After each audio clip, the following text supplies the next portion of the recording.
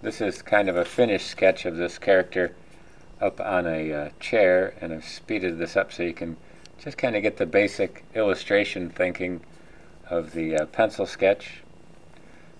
Kind of getting all the line of action and everything that you now know in the animation, and just kind of lightly taking off some graphite to watercolor this. Thought I'd do a, a wash of color, of the local color basically placed in there with a little bit of shadow and trying to take a look at how you would sh shadow the character with a light source. And same, same approach to just about any type of drawing that you come across.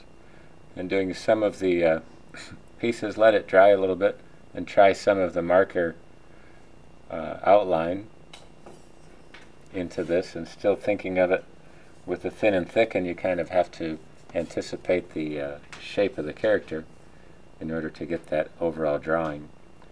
Creating some of the background, just a light line of perspective for a countertop, kind of a microwave with a window and curtain section up there.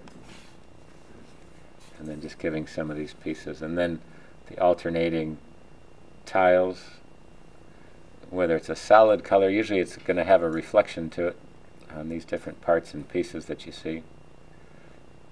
Just trying to place that in there gives you quite the look to it. Just kind of anticipating, use a little bit of watercolor.